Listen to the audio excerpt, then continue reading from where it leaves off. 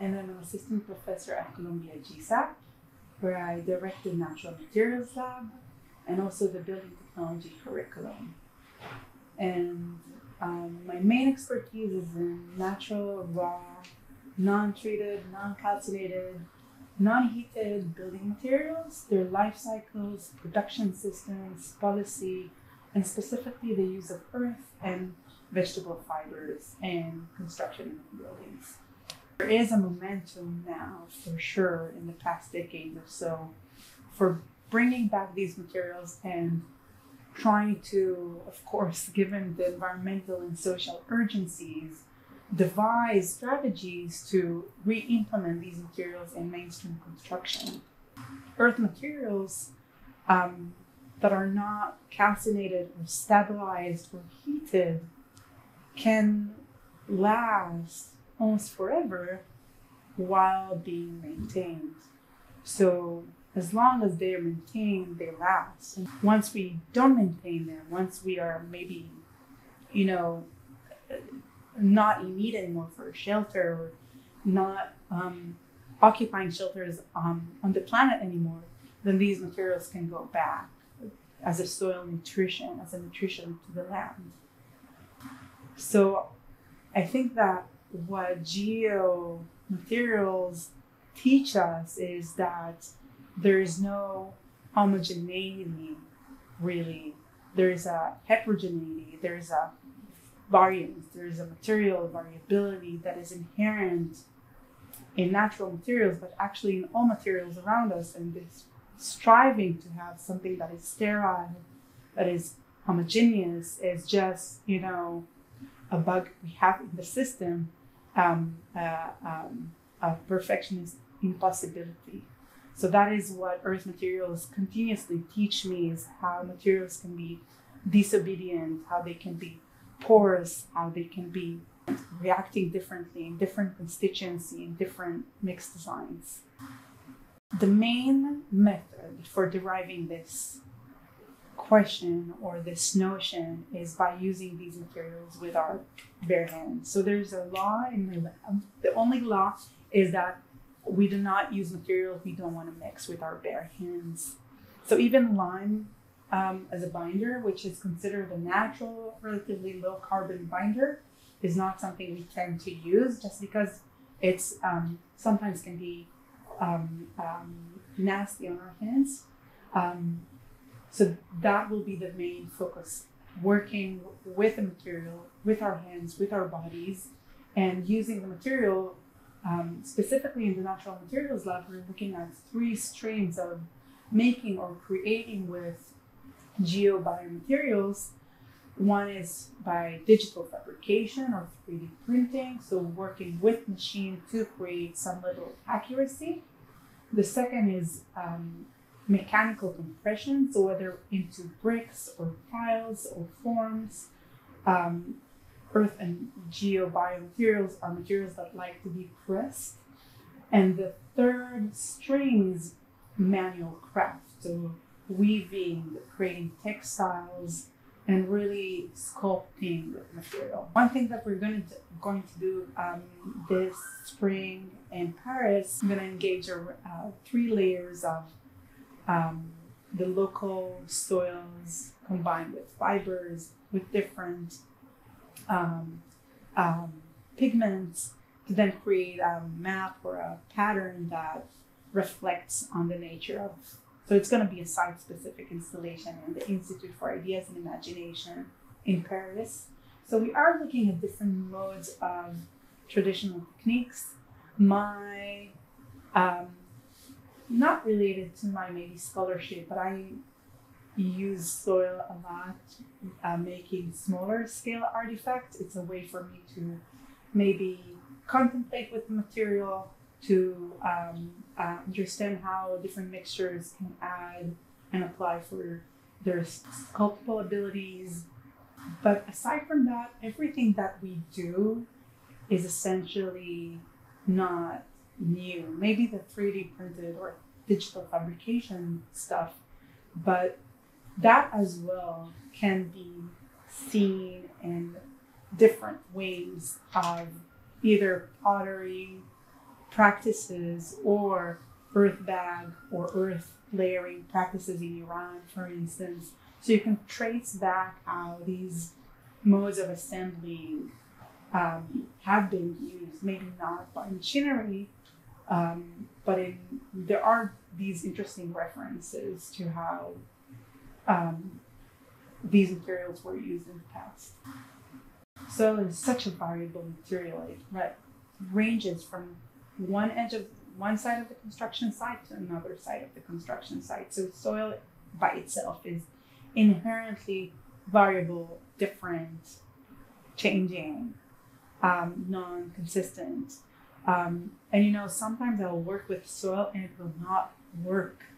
And I'll try and try and try and add and change and more, uh, more plasticize with water, less plasticize with water, more fiber, less fiber. And then someone will come to me with, look at this amazing mud we found for you, Lola, because everyone knows now that if they find nice mud, they need to let me know. And suddenly it will work. The printing will work. The the sculpture piece will will be um, it will be easier to work with it because it's it's the right types of soil. So I keep reminding myself that if something is not working for me, I need to go back, test the amount of clay in the soil. Maybe different clays will also react or behave differently. So if it's a kaolin based uh, clay rich soil, it will behave differently from a bentonite rich clay rich soil. Um, it's um, really the type of clay and the particle size distribution. So a very silty soil will be very, very greasy. With time, I developed the felt sense of differentiating between clay soil and clay silty loam or soil. So that I, I learned that the silt will not be sticky, but it will be greasy, if that makes sense. Um, similar to that, sometimes when I have too much clay in my soil, I'll need sand. So I learned different techniques to listen to the sand. So I'll take the sand and I'll crunch it near my ear to listen to it. And if it's crunchy enough, I know that it's jagged and I will know that it will have enough um, surface area to capture the clay in the soil and the mixture between that sand and the clay rich soil will be great. If you're a chef and you're developing a recipe for a cookie, right, you want to create the most high performance cookie, then you look at the ingredients, right? The egg will be the binder, the flour might be the aggregate, the um, the baking powder will you know be the bioadditive that makes the chemical reaction very similar to that is how we treat building materials and how we should start looking at building materials that are um, not only be engaging but can also be healthy food grade um, building materials. So similar to what we eat or what we consume affects our body and affects our health very similar to that the buildings that surround us or the um, finishes mostly that surround us in the built environment affect our health through either inhalation or um, dermal exchange to ingestion. We are continuously in exchange with our built environment. So we might as well think about building materials that we are feeling or we, we can consume or in uh, secondary consumption or um, non-direct consumption um, and also building materials that just for, a substance add to our biome so two things we should do with new materials whether they are made of earth fibers or other next gen non-conventional materials bacterial materials um, fungi based is we need to um, check their thermal or characterize their thermal possibilities in different climates.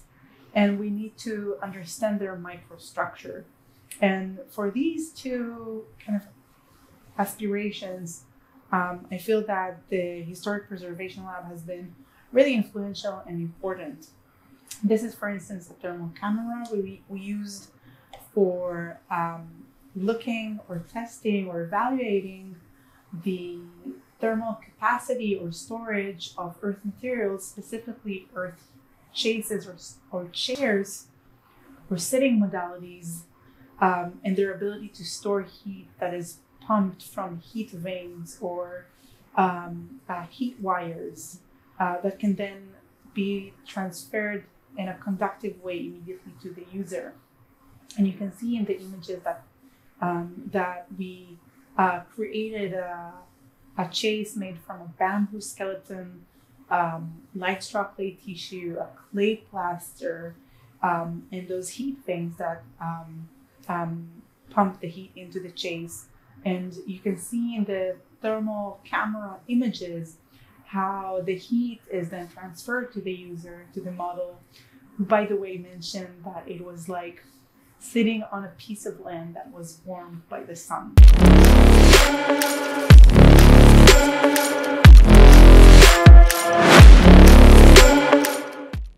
Always recommend my students to go to workshops, to go to hands-on workshops by, and there's like if you Google COB, clay plaster, rammed earth, workshop, you'll find these kind of engagements all around the world, Nor- northeast US to you know Thailand.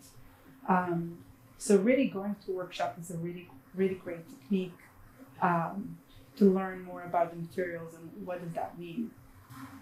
I would recommend for students to really um, not shy away from using new materials, ditch the foam, ditch the um, the uh, uh, rockite, and use um, materials that can be found in their immediate nature uh, or in the backyards if they are, you know, not in the middle of New York City. Um, and really use these materialities to examine their strength, their durability, their workability, um, and develop their own kind of mixtures or recipes for using a range of geo, fiber, um, additive materials. So, from using subsoil, some shredded um, uh, dry uh, tomato stalks, and um, uh, aloe vera juice, you can create such a, an amazing material. The aloe vera will act as the biobinder, as the biopolymer. Everything that is gooey is a great binder. The fiber, the dry fibers, will act as a reinforcement, and the clay, the subsoil, will create this kind of homogeneity of um, not homogeneity, but maybe the binding of that um, mixed design. So um, really learning what we have in our immediate nature how we can use it is something I would recommend every um, student to um, investigate.